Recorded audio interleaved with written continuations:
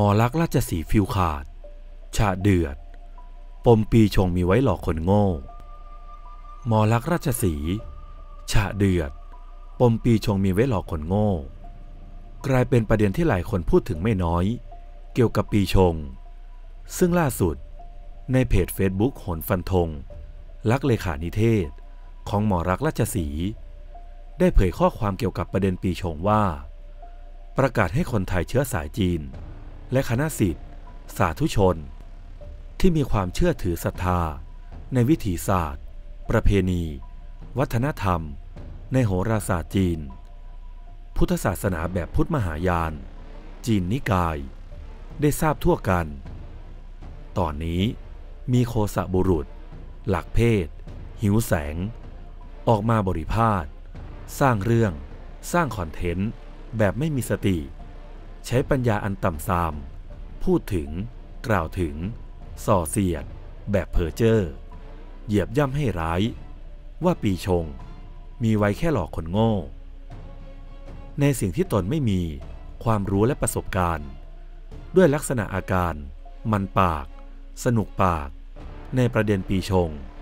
อันเป็นศาสตร์วิชาโหราศาสตร์จีน โปรยยี่สีเถียว อันมีปราดผู้รู้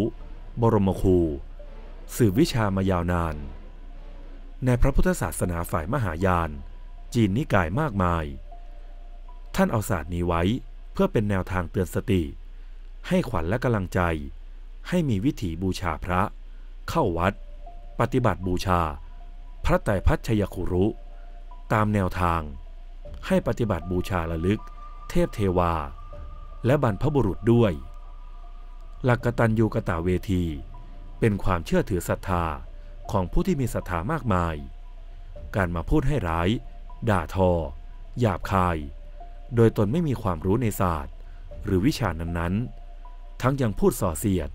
โดยขาดธรรม ขาดสติปัญญา เป็นเรื่องที่ไม่สมควรอย่างยิ่ง อาจารย์จึงแชร์เพจของปราดผู้รู้ ผู้เป็นกัลยาณมิตรมาช้านาน ที่เคารพนับถือซึ่งกันและกัน มาให้คณะสิทธิ สมาชิกได้ติดตาม ในองค์ความรู้วิชา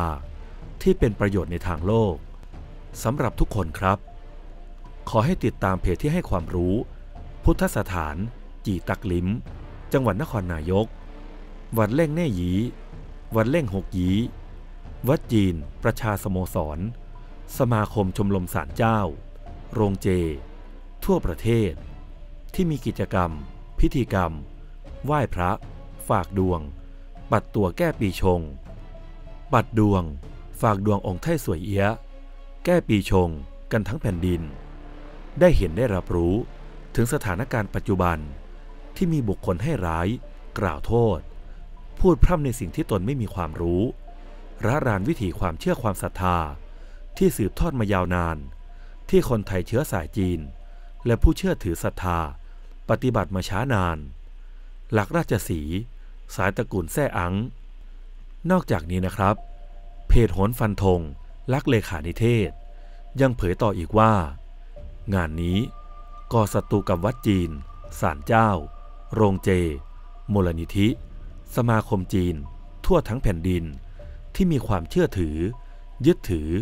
และปฏิบัติมาช้านานเป็นพันๆปี ทั้งยังนักโหราศาสตร์จีน สินแสทุกๆคน ว่ายังไงล่ะครับ โดนย่ำหยีว่า ปีชง เอาไว้แค่หลอกคนโง่ แล้วทุกท่านล่ะครับ คิดว่ายังไง อย่าลืมคอมเมนต์แสดงความคิดเห็นกันด้วยนะครับ